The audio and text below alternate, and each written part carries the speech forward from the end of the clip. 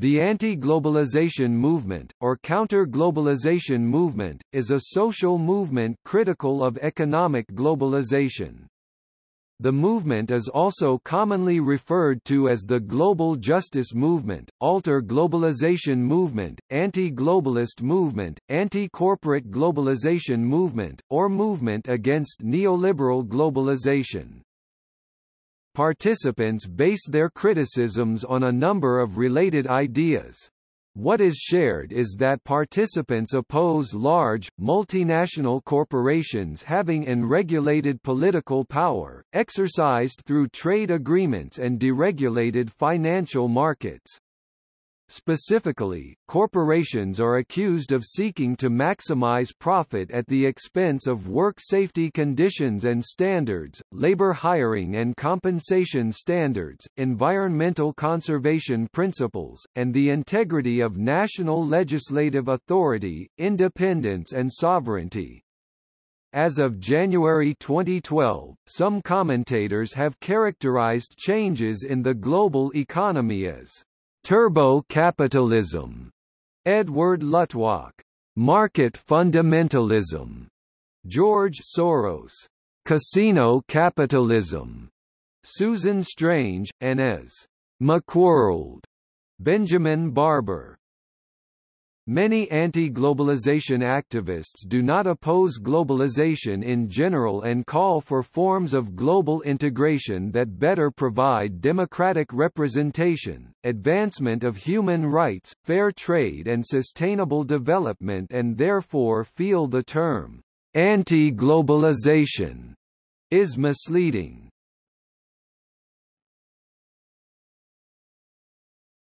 Topic Ideology and causes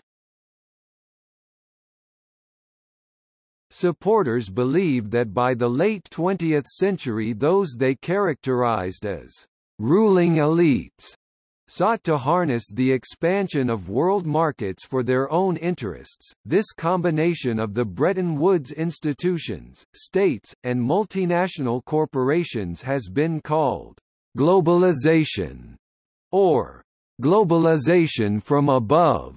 In reaction, various social movements emerge to challenge their influence. These movements have been called anti-globalization or globalization from below.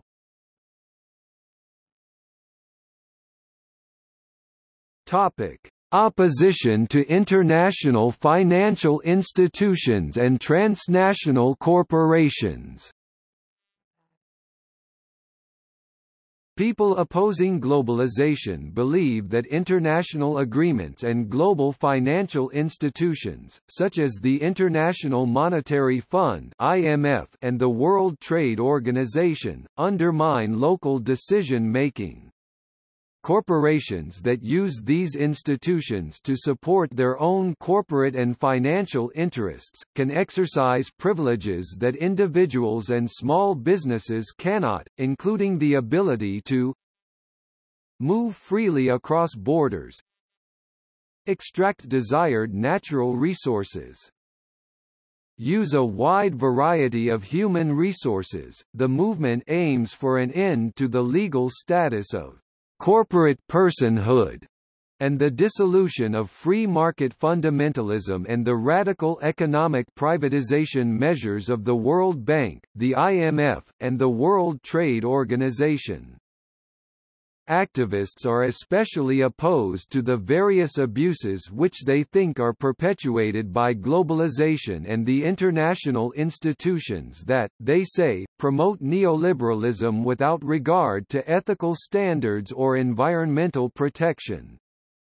Common targets include the World Bank WB, International Monetary Fund IMF, the Organization for Economic Cooperation and Development OECD, and the World Trade Organization WTO, and free trade treaties like the North American Free Trade Agreement NAFTA, Free Trade Area of the Americas FTAA, the Trans-Pacific Trade Agreement TPPA, the Multilateral Agreement on Investment MI, and the General Agreement on Trade in Services GATS.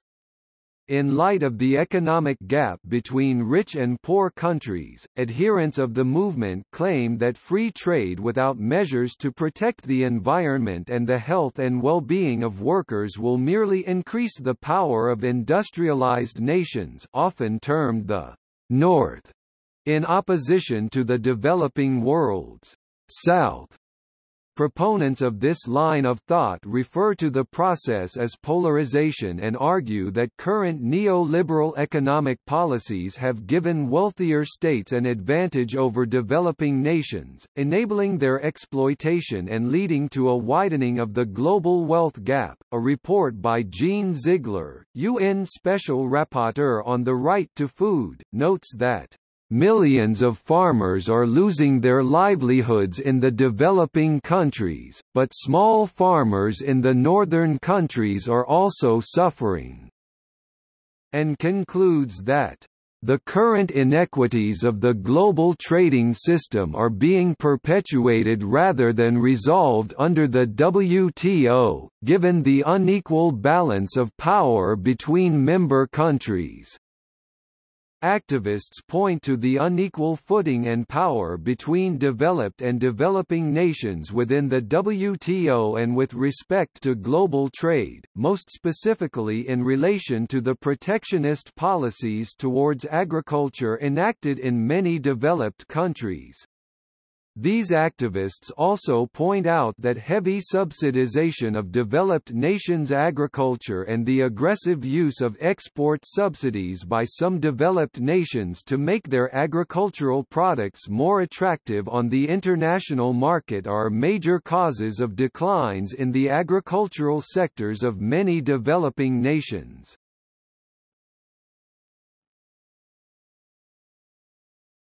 Topic Global opposition to neoliberalism Through the Internet, a movement began to develop in opposition to the doctrines of neoliberalism which were widely manifested in the 1990s when the Organization for Economic Cooperation and Development OECD proposed liberalization of cross-border investment and trade restrictions through its Multilateral Agreement on Investment. This treaty was prematurely exposed to public scrutiny and subsequently abandoned in November 1998 in the face of strenuous protest and criticism by national and international civil society representatives. Neoliberal doctrine argued that untrammeled free trade and reduction of public sector regulation would bring benefits to poor countries and to disadvantaged people in rich countries. Anti-globalization advocates urge that preservation of the natural environment, human rights especially workplace rights and conditions and democratic institutions are likely to be placed at undue risk by globalization unless mandatory standards are attached to liberalization. Noam Chomsky stated in 2002 that the term globalization has been appropriated by the powerful to refer to a specific form of international economic integration, one based on investor rights, with the interests of people incidental. That is why the business press, in its more honest moments, refers to the free trade agreements as free investment agreements. Wall Street Journal Accordingly, advocates of other forms of globalization are described as anti-globalization, and some, unfortunately, even accept this term, though it is a term of propaganda that should be dismissed with ridicule. No sane person is opposed to globalization, that is, international integration surely not the left and the workers' movements, which were founded on the principle of international solidarity. That is, globalization in a form that attends to the rights of people, not private power systems.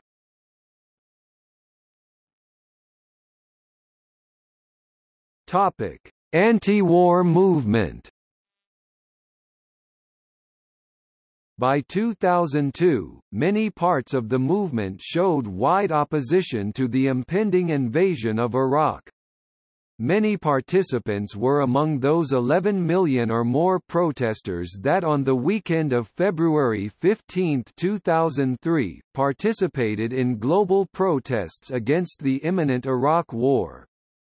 Other anti-war demonstrations were organized by the anti-globalization movement, see for example the large demonstration, organized against the impending war in Iraq, which closed the first European Social Forum in November 2002 in Florence, Italy. Anti-globalization militants worried for a proper functioning of democratic institutions as the leaders of many democratic countries Spain, Italy, Poland and and the United Kingdom were acting against the wishes of the majorities of their populations in supporting the war. Chomsky asserted that these leaders showed their contempt for democracy. Critics of this type of argument have tended to point out that this is just a standard criticism of representative democracy, a democratically elected government will not always act in the direction of greatest current public support, and that, therefore, there is no inconsistency in the leaders' positions given that these countries are parliamentary democracies. The economic and military issues are closely linked in the eyes of many within the movement.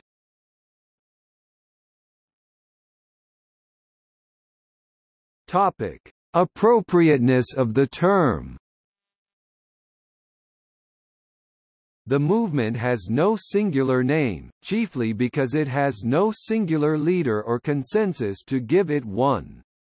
It has been called a variety of names based on its general advocation for social change, justice, and radical activism, and its general opposition to capitalism, neoliberalism, and corporate globalization. Activists also resisted using a name conferred by corporate media to smear the intention of their protests. Some activists were also not necessarily against globalization. Many participants see Noam Chomsky's quotes above consider the term anti-globalization to be a misnomer. The term suggests that its followers support protectionism and or nationalism, which is not always the case. In fact, some supporters of anti-globalization are strong opponents of both nationalism and protectionism. For example, the No Border Network argues for unrestricted migration and the abolition of all national border controls. S. A. Hamed Hosseini an Australian sociologist and expert in global social movement studies, argues that the term anti-globalization can be ideal typically used only to refer to only one ideological vision he detects alongside three other visions the anti-globalist, the alter-globalist and the alter-globalization. He argues that the three latter ideal typical visions can be categorized under the title of global justice movement. According to him, while the first two visions the alter-globalism and the anti-globalism represent the reconstructed forms of old and new left ideologies, respectively, in the context of current globalization, only the third one has shown the capacity to respond more effectively to the intellectual requirements of today's global complexities. Underlying this vision is a new conception of justice, coined accommodative justice by Hosseini, a new approach towards cosmopolitanism, transversal cosmopolitanism, a new mode of activist knowledge, accommodative consciousness, and a new format of solidarity, interactive solidarity. Some activists, notably David Graeber, see the movement as opposed instead to neoliberalism or corporate globalization. He argues that the term anti-globalization is a term coined by the media, and that radical activists are actually more in favor of globalization, in the sense of effacement of borders and the free movement of people, possessions and ideas, than are the IMF or WTO. He also notes that activists use the terms globalization movement and anti-globalization movement interchangeably, indicating the confusion of the terminology. The term alter globalization has been used to make this distinction clear. While the term anti-globalization arose from the movement's opposition to free trade agreements which have often been considered part of something called globalization. Various participants contend they are opposed to only certain aspects of globalization and instead describe themselves, at least in French-speaking organizations, as anti-capitalist, anti-plutocracy, or anti-corporate. Le Monde Diplomatique editor, Ignacio Ramonet's, expression of the one-way thought Pensée unique became slang against neoliberal policies and the Washington Consensus.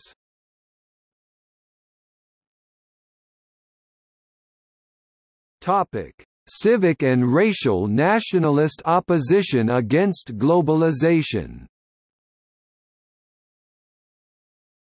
The term anti-globalization does not distinguish the international leftist anti-globalization position from a strictly nationalist anti-globalization position. Many nationalist movements, such as the French National Front, Austrian Freedom Party, the Italian Lega Nord, the Greek Golden Dawn or the National Democratic Party of Germany are opposed to globalization, but argue that the alternative to globalization is the protection of the nation-state. Other groups, influenced by the third position, are also classifiable as anti-globalization. However, their overall worldview is rejected by groups such as People's Global Action and anti-fascist groups such as Antifa. In response, the nationalist movements against globalization, argue that the leftist anti-globalization position is actually a support to alter globalization.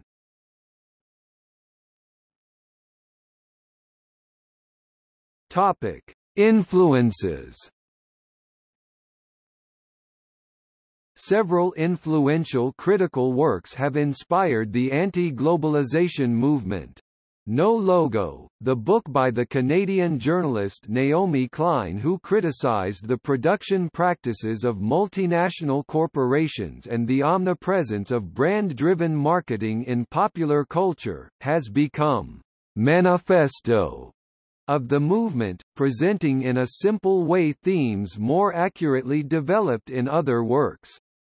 In India some intellectual references of the movement can be found in the works of Vandana Shiva, an ecologist and feminist, who in her book Biopiracy documents the way that the natural capital of indigenous peoples and ecoregions is converted into forms of intellectual capital, which are then recognized as exclusive commercial property without sharing the private utility thus derived. The writer Arundhati Roy is famous for her anti-nuclear position and her activism against India's massive hydroelectric dam project, sponsored by the World Bank. In France the well-known monthly paper Le Monde Diplomatique has advocated the anti-globalization cause and an editorial of its director Ignacio Ramonet brought about the foundation of the association ATTAC. Susan George of the Transnational Institute has also been a long-term influence on the movement, as the writer of books since 1986 on hunger, debt, international financial institutions and capitalism. The works of Jean Ziegler, Christopher Chase Dunn, and Immanuel Wallerstein have detailed underdevelopment and dependence in a world ruled by the capitalist system. Pacifist and anti-imperialist traditions have strongly influenced the movement. Critics of United States foreign policy such as Noam Chomsky, Susan Sontag, and anti-globalist pranksters the Yes Men are widely accepted inside the movement. Although they may not recognize themselves as anti-globalists and are pro-capitalism. Some economists who don't share the neoliberal approach of international economic institutions have strongly influenced the movement. Amartya Sen's development as Freedom Nobel Prize in Economics, 1999, argues that Third World development must be understood as the expansion of human capability, not simply the increase in national income per capita, and thus requires policies attuned to health and education, not simply GDP. James Tobin's winner of the Nobel Prize in Economics proposal for a tax on financial transactions called, after him, the Tobin tax has become part of the agenda of the movement. Also, George Soros, Joseph E. Stiglitz another economic sciences Nobel Prize winner, formerly of the World Bank, author of Globalization and Its Discontents and David Korten have made arguments for drastically improving transparency, for debt relief, land reform, and restructuring corporate accountability systems. Korten and Stiglitz's contribution to the movement include involvement in direct actions and street protest. In some Roman Catholic countries such as Italy there have been religious influences, especially from missionaries who have spent a long time in the Third World, the most famous being Alex Zanotelli. Internet sources and free information websites, such as Indymedia, are a means of diffusion of the movement's ideas. The vast array of material on spiritual movements, anarchism, libertarian socialism and the Green Movement that is now available on the Internet has been perhaps more influential than any printed book.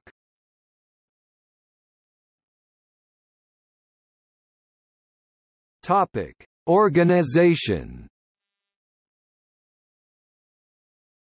Although over the past years more emphasis has been given to the construction of grassroots alternatives to capitalist globalization, the movement's largest and most visible mode of organizing remains mass decentralized campaigns of direct action and civil disobedience.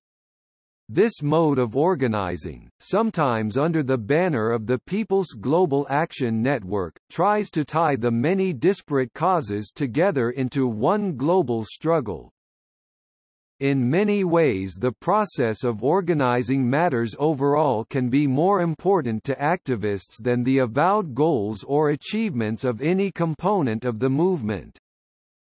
At corporate summits, the stated goal of most demonstrations is to stop the proceedings. Although the demonstrations rarely succeed in more than delaying or inconveniencing the actual summits, this motivates the mobilizations and gives them a visible, short-term purpose. This form of publicity is expensive in police time and the public purse. Rioting has occurred at some protests, for instance in Genoa, Seattle and London, and extensive damage was done to the area, especially targeting corporations, including McDonald's and Starbucks restaurants. Despite, or perhaps because of, the lack of formal coordinating bodies, the movement manages to successfully organize large protests on a global basis, using information technology to spread information and organize. Protesters organize themselves into affinity groups typically non-hierarchical groups of people who live close together and share a common political goal. Affinity groups will then send representatives to planning meetings. However, because these groups can be infiltrated by law enforcement intelligence, important plans of the protests are often not made until the last minute. One common tactic of the protests is to split up based on willingness to break the law, this is designed, with varying success, to protect the risk-averse from the physical and legal dangers posed by confrontations with law enforcement. For example, in Prague during the anti-IMF and World Bank protests in September 2000 demonstrators split into three distinct groups, approaching the conference center from three directions, one engaging in various forms of civil disobedience the Yellow March, one the Pink, Silver March advancing through tactical frivolity costume, dance, theater, music, and artwork, and one the Blue March engaging in violent conflicts with the baton-armed police, with the protesters throwing cobblestones lifted from the street. These demonstrations come to resemble small societies in themselves. Many protesters take training in first aid and act as medics to other injured protesters. In the U.S., some organizations like the National Lawyers Guild and, to a lesser extent, the American Civil Liberties Union, provide legal witnesses in case of law enforcement confrontation. Protesters often claim that major media outlets do not properly report on them, therefore, some of them created the Independent Media Center, a collective of protesters reporting on the actions as they happen.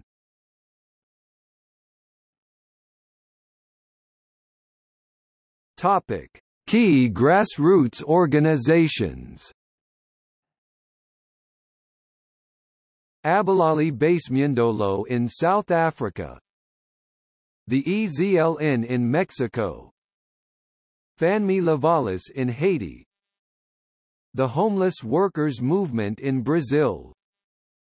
The Landless Peoples Movement in South Africa.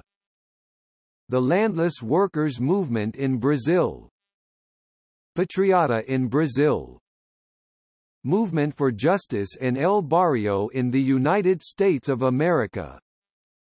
Narmada Bachao Andolan in India.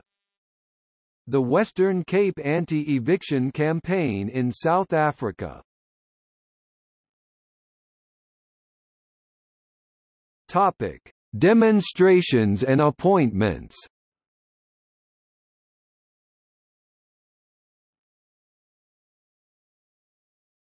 Topic: Berlin 88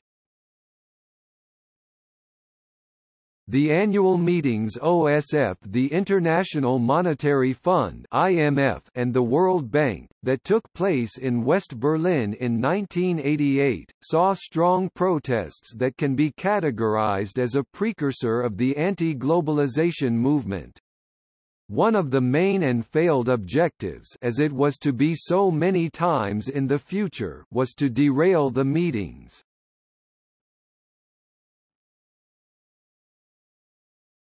Topic: Paris 89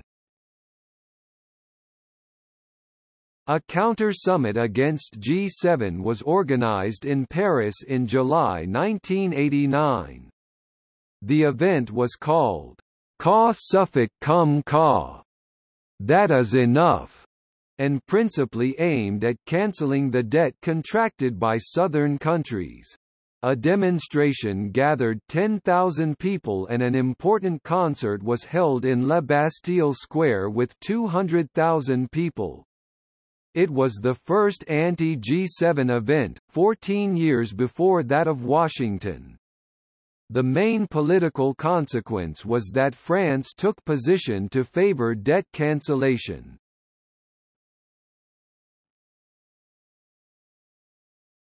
Topic: Madrid 94 The 50th anniversary of the IMF and the World Bank, which was celebrated in Madrid in October 1994, was the scene of a protest by an ad hoc coalition of what would later be called anti-globalization movements. Starting from the mid-1990s, annual meetings of the IMF and the World Bank Group have become center points for anti-globalization movement protests. They tried to drown the bankers' parties in noise from outside and held other public forms of protest under the motto, 50 years is enough. while Spanish King Juan Carlos was addressing the participants in a huge exhibition hall, two Greenpeace activists climbed to the top and showered the attendants with fake dollar bills carrying the slogan, "No dollar S for ozone layer destruction." A number of the demonstrators were sent to the notorious Carabanchel prison.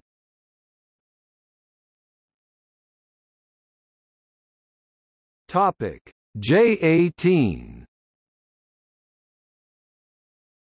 One of the first international anti-globalization protests was organized in dozens of cities around the world on June 18, 1999, with those in London and Eugene, Oregon most often noted. The drive was called the Carnival Against Capital, or J18 for short.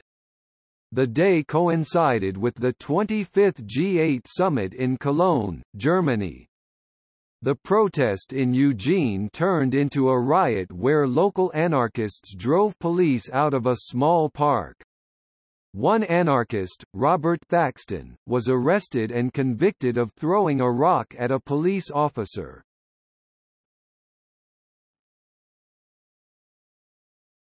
Topic: Seattle, N30 The second major mobilization of the movement, known as N30, occurred on November 30, 1999, when protesters blocked delegates' entrance to WTO meetings in Seattle, Washington, USA. The protests forced the cancellation of the opening ceremonies and lasted the length of the meeting until December 3. There was a large, permitted march by members of the AFL-CIO, and other unauthorized marches by assorted affinity groups who converged around the convention center. The protesters and Seattle riot police clashed in the streets after police fired tear gas at demonstrators who blocked the streets and refused to disperse. Over 600 protesters were arrested and thousands were injured. Three policemen were injured by friendly fire, and one by a thrown rock. Some protesters destroyed the windows of storefronts of businesses owned or franchised by targeted corporations such as a large Nike shop and many Starbucks windows. The mayor put the city under the municipal equivalent of martial law and declared a curfew. As of 2002, the city of Seattle had paid over $200,000 in settlements of lawsuits filed against the Seattle Police Department for assault and wrongful arrest, with a class action lawsuit still pending.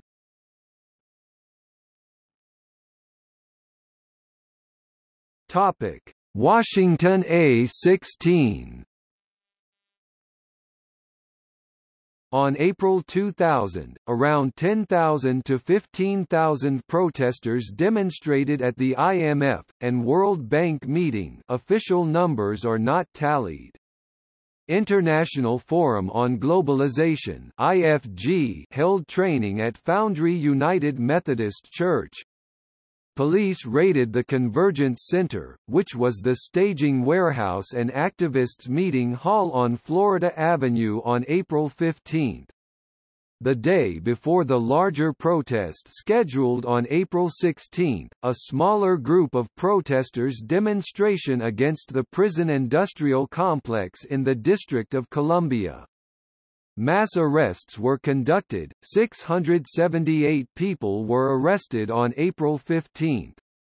Three-time Pulitzer Prize-winning, Washington Post photographer Carol Guzy was detained by police and arrested on April 15, and two journalists for the Associated Press also reported being struck by police with batons.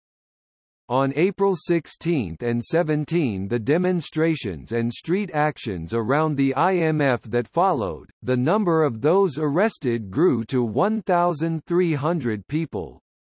A class action lawsuit was filed for false arrest.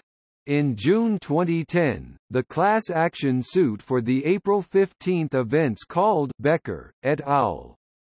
v. District of Columbia, et al., were settled, with $13.7 million damages awarded.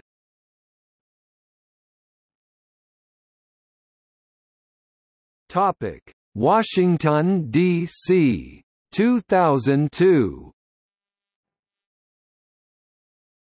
In September 2002, estimated number of 1,500 to 2,000 people gathered to demonstrate against the annual meetings of IMF and World Bank in the streets of Washington, D.C. Protesting groups included the Anti-Capitalist Convergence, the Mobilization for Global Justice, 649 people were reported arrested, five were charged with destruction of property, while the others were charged with parading without a permit, or failing to obey police orders to disperse. At least 17 reporters were in the roundup. Protesters sued in federal court about the arrests. The D.C. Attorney General had outside counsel investigate apparent destruction of evidence, and forensic investigations continue, and the testimony of the Chief of Police. In 2009, the city agreed to pay $8. 25 million to almost 400 protesters and bystanders to end a class action lawsuit over kettling and mass arrests in Pershing Park during 2002 World Bank protests. Topic: Law enforcement reaction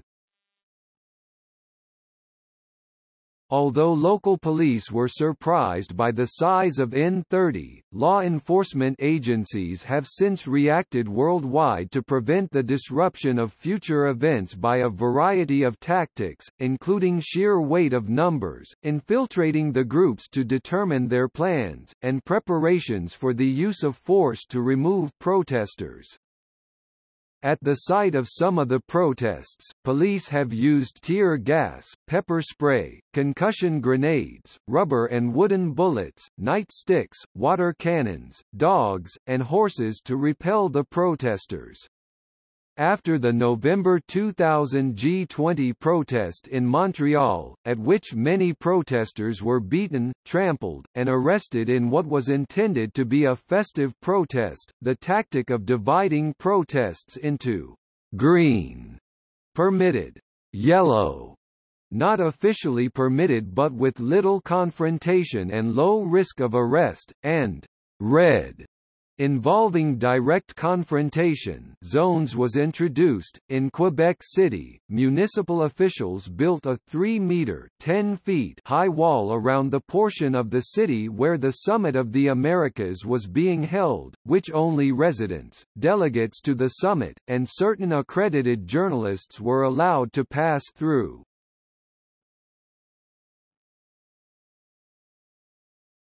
Topic: Gothenburg On June 15 and 16, 2001, a strong demonstration took place in Göteborg during the meeting of the European Council in the Swedish town. Clashes between police and protesters were exacerbated by the numerous vandalism of the extreme fringes of the demonstrators, the so-called black blocs. Images of devastation bounced through the mass media, putting a negative shadow on the movement, and increasing a sense of fear through common people.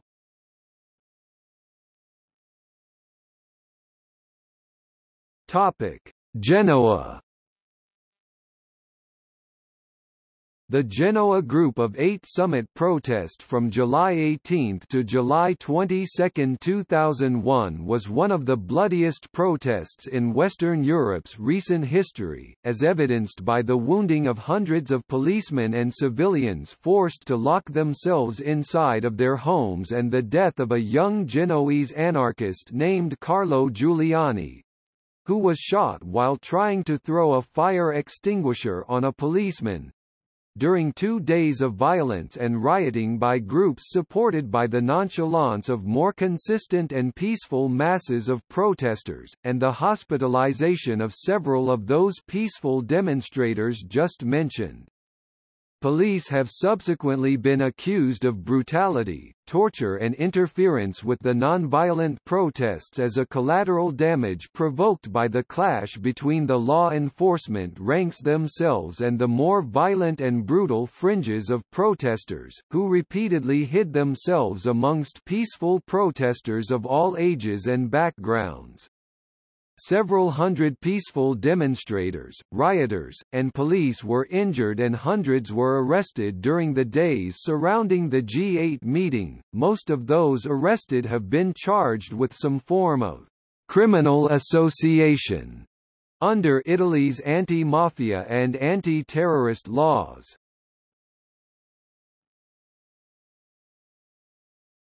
Topic: International social forums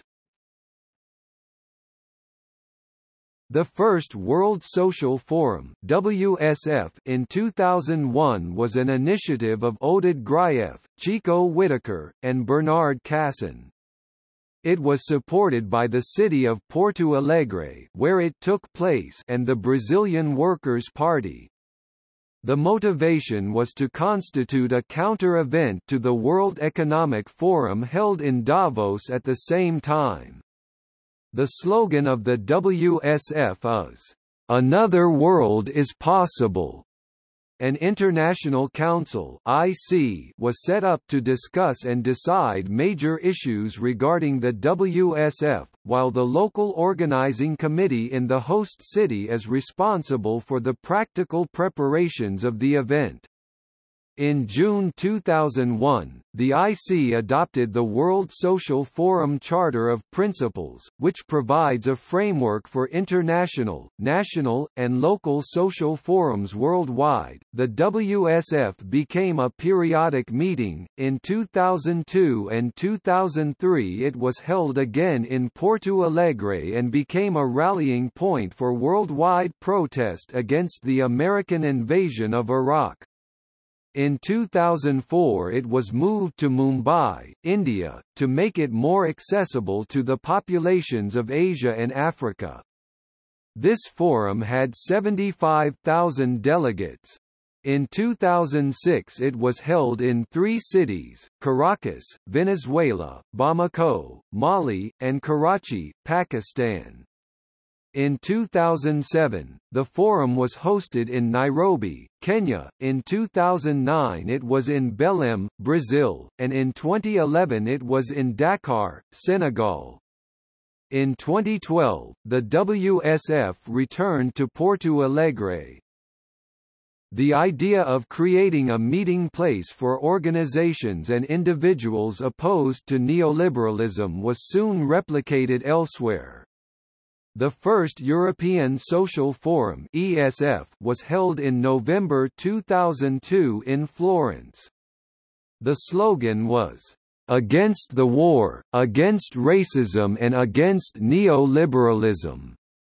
It saw the participation of 60,000 delegates and ended with a huge demonstration against the war 1 million people according to the organizers.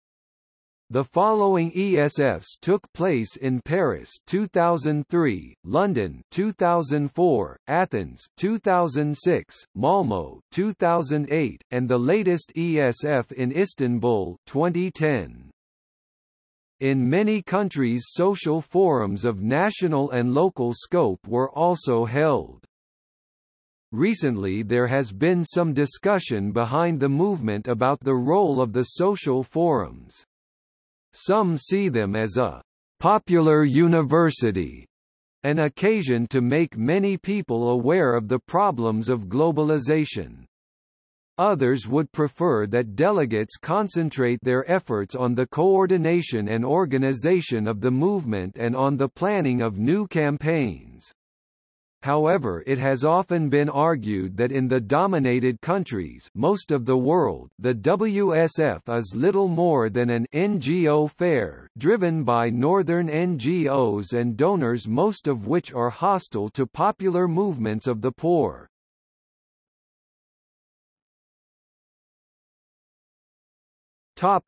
North Korea After the Second World War, North Korea followed a policy of anti-globalization. However, in recent decades have shown a distinctive rise in globalization movements in North Korea. Under the Democratic People's Republic of Korea, Pyongyang 2002, introduced a number of reforms in areas such as technology and trade. The reform that had the most significance to North Korea was trade. North Korea saw a change in trading partnerships. They now not only traded with themselves but also with South Korea and China. North Korea introduced these reforms because they were lacking in areas of technology and trade and they realized that they could not maintain themselves as a society without help from other nations. But even with these new reforms North Korea still remains the most isolated society in the world.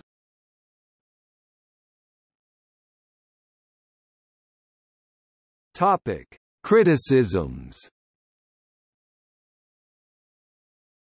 The anti-globalization movement has been criticized by politicians, members of conservative think tanks, and many mainstream economists.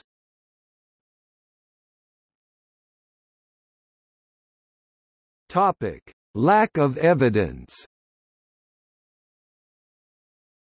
Critics assert that the empirical evidence does not support the views of the anti-globalization movement. These critics point to statistical trends which are interpreted to be results of globalization, capitalism, and the economic growth they encourage. There has been an absolute decrease in the percentage of people in developing countries living below $1 per day in East Asia adjusted for inflation and purchasing power. Sub-Saharan Africa, as an area that felt the consequences of poor governance and was less responsive to globalization, has seen an increase in poverty while all other areas of the world have seen no change in rates. The world income per head has increased by more over period 2002 to 2007 than during any other period on the record. The increase in universal suffrage, from no nations in 1900 to 62.5% of all nations in 2000. There are similar trends for electric power, cars, radios, and telephones per capita as well as the percentage of the population with access to clean water. However 1.4 billion people still live without clean drinking water and 2.6 billion of the world's population lack access to proper sanitation.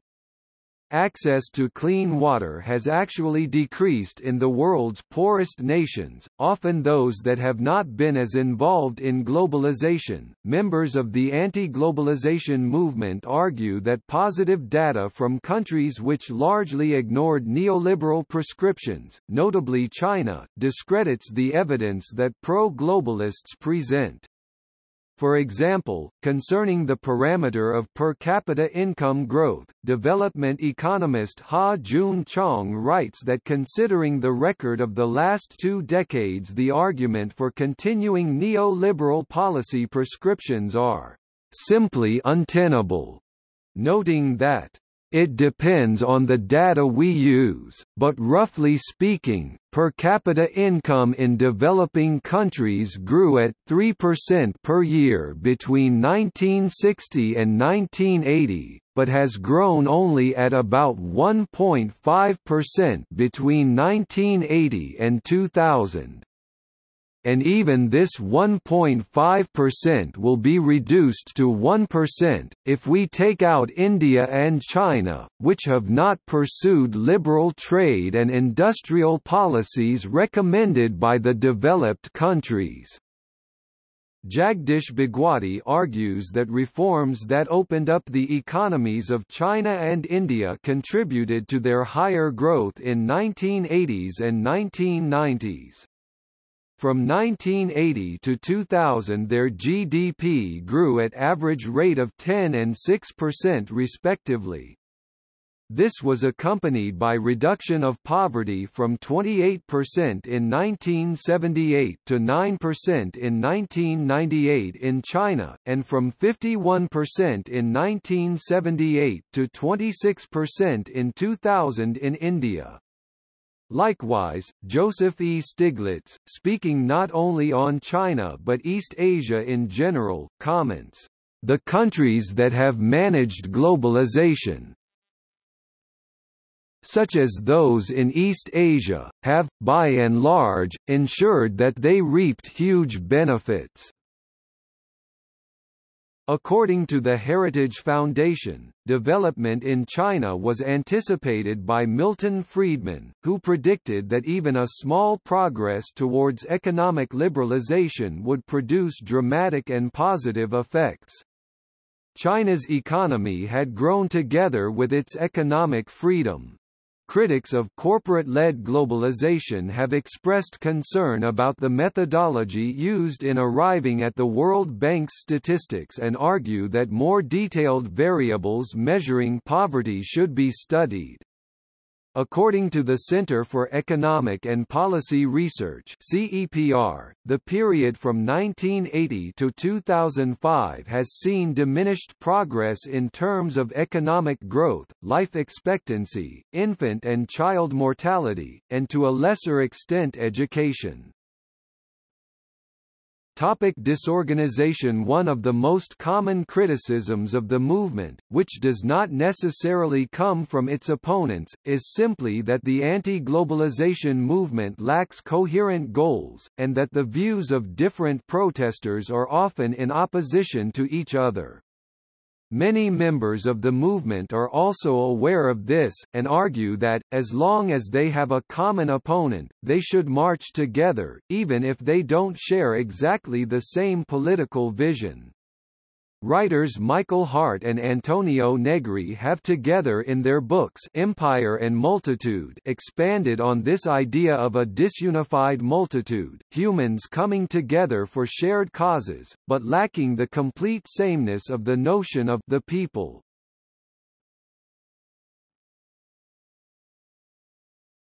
Topic: Lack of effectiveness One argument often made by the opponents of the anti-globalization movement especially by The Economist, is that one of the major causes of poverty amongst Third World farmers are the trade barriers put up by rich nations and poor nations alike. The WTO is an organization set up to work towards removing those trade barriers. Therefore, it is argued, people really concerned about the plight of the Third World should actually be encouraging free trade, rather than attempting to fight it. Specifically, commodities such as sugar are heavily distorted by subsidies on behalf of powerful economies the United States, Europe, and Japan, who have a disproportionate influence in the WTO. As a result, producers in these countries often receive 2 to 3x the world market price. As Amani Elobeid and John Beghin note, the world price might decline by as much as 48% by 2011-2012 baselines were these distortions to be removed. Many supporters of globalization think that policies different from those of today should be pursued, although not necessarily those advocated by the anti-globalization movement. For example, some see the World Bank and the IMF as corrupt bureaucracies which have given repeated loans to dictators who never do any reforms. Some, like Hernando de Soto, argue that much of the poverty in the Third World countries is caused by the lack of Western systems of laws and well-defined and universally recognized property rights. De Soto argues that because of the legal barriers poor people in those countries cannot utilize their assets to produce more wealth.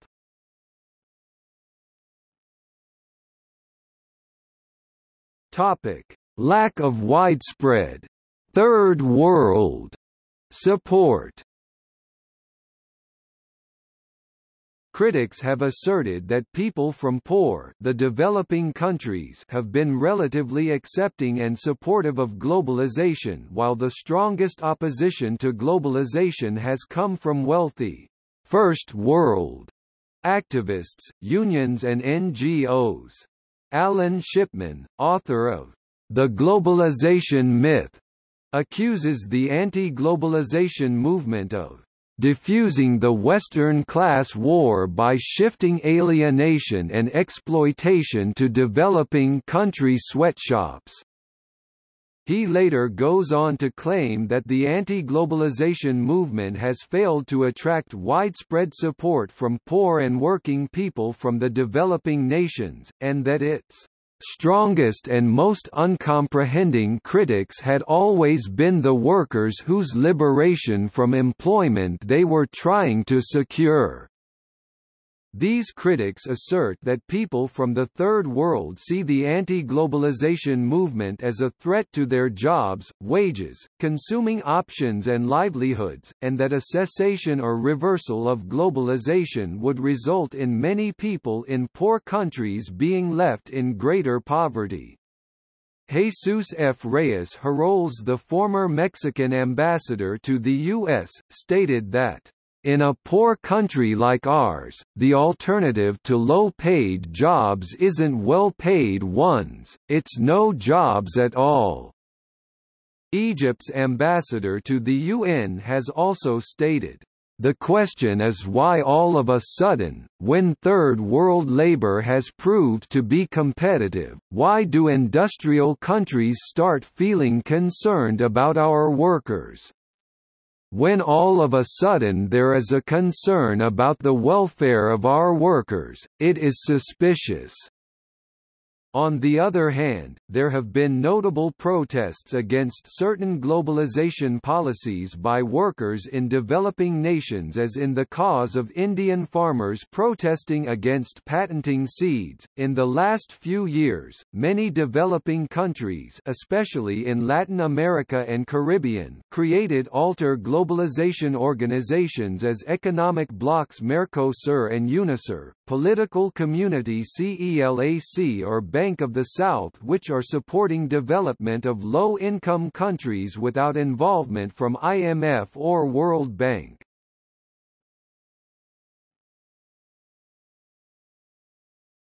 Topic. See also equals equals notes